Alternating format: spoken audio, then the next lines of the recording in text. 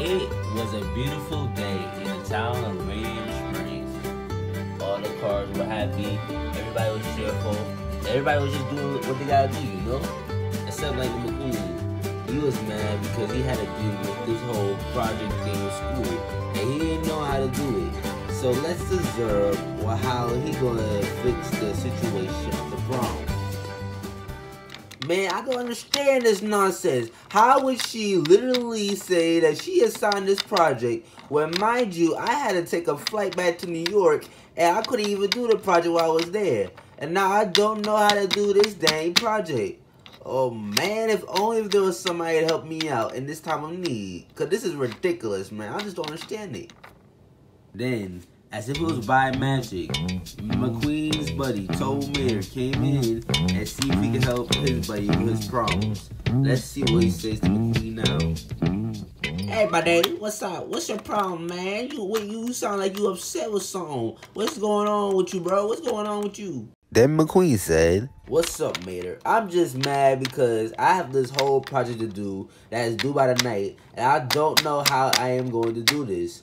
And I can't fail this class because it was part of my grade. So I wonder what can I do to help me out to do this project. Therefore, his best friend said, Ah, okay, I see what you're saying. I see what you're saying. And a matter of fact, I got a good idea for you. How about us cars in the neighborhood help you out and do a demonstration of the project? So then it's like you it's like you made a, a model of the project, but using us as help to demonstrate the project. Wouldn't that sound good to you, buddy? This was when McQueen smiled. Really, Mater? Are you gonna for real help me out with this project? Because I don't want to fail. I really just want to try and make a good impression on this project stuff.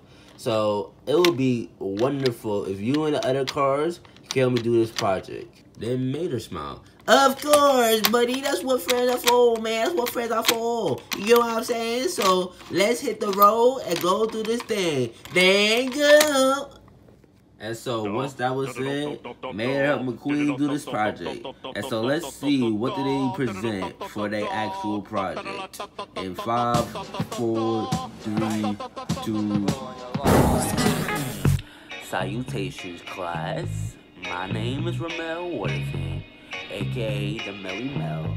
And today I did a little something something different, usual, that is not exactly common for a project.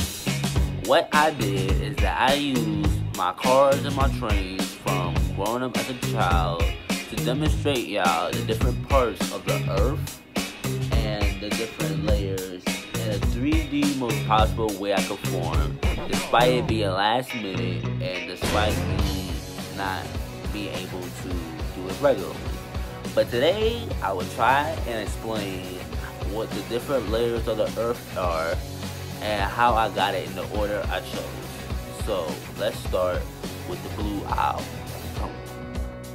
The Blue Isle, led by Thomas, is the isle where it is the oceanic crust.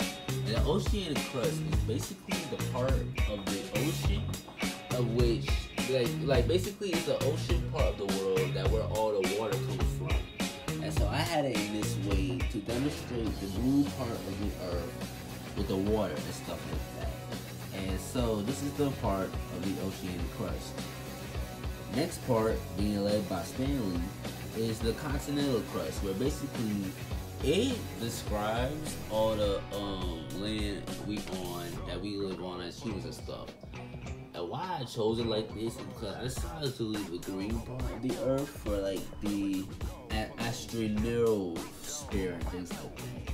So this is why I had the white group leading uh, white spirit, especially since that we have some cold parts of the earth that is white that we see. And even though this is not exactly accurate, since it's both white and silver, is not always white in the world, is why I have it, you know, thing. Cause I just, it's just a common thing, whatever I just did. So this is the white part of the earth, the land part. Now the astrosphere, that's how you said it, led by Ramon, It's basically the part of the Earth that is the upper layer of the Earth's mantle that's below the lithosphere, which is right here, and that is relatively low resistant and plastic flow conditions that is thought to occur. And for this, I chose green because that is like, you know, the same what I'm saying, like uh, kind of like land part of the earth, but we starting to go deep into the layers of the earth with the crust and all that stuff. Like we starting to, like we starting to like, deep down in the adventure. So this is why I chose green for the asthenosphere.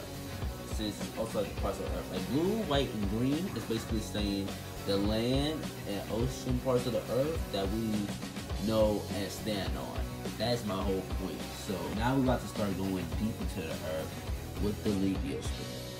Now the lithosphere, which is led by Toby, is basically the part of the earth that is like the solid shell of the planet that is basically connected to the crust right here. And what I did for crust is I have these little pebbles to outline the outside the earth to the inside of the earth. Like how your body is outside your skin, but your but your inside's like your heart or whatever, like your blood or whatever. So this is why this is why over here that I had gotten the um, lithosphere to be right here close to the close to the continental crust because you know that's where all this stuff is. So now going beyond that, going back onto the crust, we are about to start going into the upper mantle. Now, the upper mantle, led by Rusty, is basically the between decision of really starting to go deep down into the earth and going and going from the up from the surface of the earth. Like this, this literally the split between two worlds, kind of like this, like these two parts is literally the split of what's going on in our actual heart of, of our planet. So this is why I had gotten the orange robe bunch to do the upper mantle, especially since this is the part where the value and all this stuff matters that we live in our planet. So this is the brief summary of upper mantle. Now going to the deeper part of Earth is the lower mantle. Lower mantle, led by Molly, is basically the liquid layer of the Earth. Like basically going from solid from the upper mantle to liquid to lower mantle. Like solid, liquid, gas. Like you know, physical science stuff. And so this is where things start to get hot, and this is how we start reaching into the core of the planet. so basically, this is the yellow line things get real. Then the outer core, led by Barney Storm, is basically the part of the Earth where we go in, into the core now, but not into the main main core.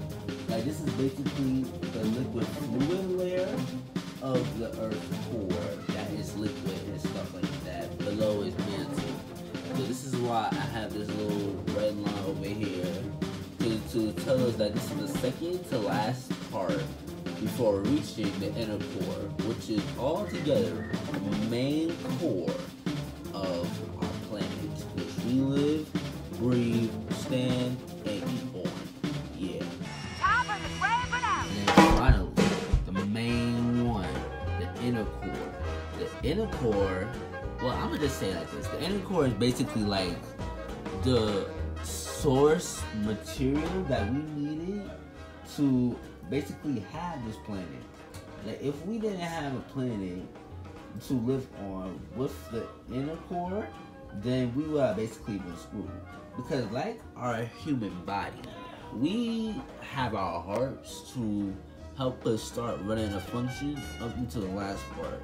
Like our heart is the main part we need to survive besides our brains. So the inner core is what we definitely need to survive in order to be live and substantial on this planet for years and years and whatever to come from past, present, and the future. And I chose this strain because this is basically like a golden moment of how we, you know, live on this planet and stuff. So now I'm about to wrap up. And before I forget, going up from the inner core to the to basically the crust part, which is which is which is right here to right here is the convection currents in the mantle. And that is basically the very slow creeping motion of the Earth's solid silicate that cause the convection currents carrying the heat, which is these hot three colors right here, from the interior to the planet's surface, which is right here. So this is what basically let us go from the from basically our heart, which is the core, to the skin, which is the surface. So this is how the convection currents in the mantle works in basically our human society. And in this project, I'm showing you with all these cars and trains and things like that. And in conclusion, this is the end of my layers of Earth model project. Even though this was kind of rushed last minute, this is what I, this is the best I could have done to describe the layers of the Earth and to try to relate to this project as much as I can. So until the next future project, I am Ramel Warrington, and that's all for today's project. Have a good day.